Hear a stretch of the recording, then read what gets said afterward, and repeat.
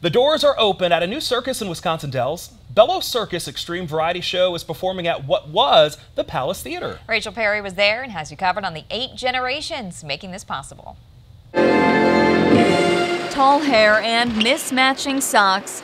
Bello Nock says he's never really fit in. Uh, I was redheaded, bucktooth, pigeon-toed, knock-kneed. I was a, a, a, a klutz, but I just found a thing that I enjoyed, and that was people laughing at me because I had their attention.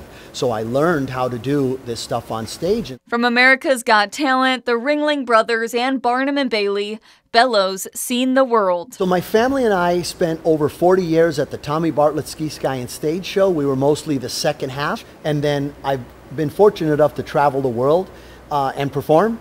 There's no place better than performing in Wisconsin Dells on stage. This location is just another landmark of Bello's life in the Dells. In fact, right across the street is where he married his wife. So we're always telling my daughter about the the great times we had growing up in the Dells. Just like he grew up performing, so did his daughter, Annalise Nock, making her the eighth generation to take the stage. I feel like I hit the jackpot because I can um, kind of share in what I love with my dad, and it happens to be what he loves. And now the two can be seen side by side in Bello's Circus Extreme variety show on a stage and in a place that feels like home. So now for us to be able to come back here, um, it really does have a sense of homecoming. World record holders, motorcycles, and even puppies, they've got it all. Wow! The Wisconsin Dells has been making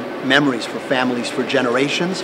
We want to be part of that. In Wisconsin Dells, Rachel Perry, 27 News. Well, looks like a lot of fun. The Knox kids get in free with an adult. A link to show dates can be found right now on our website, WKOW.com.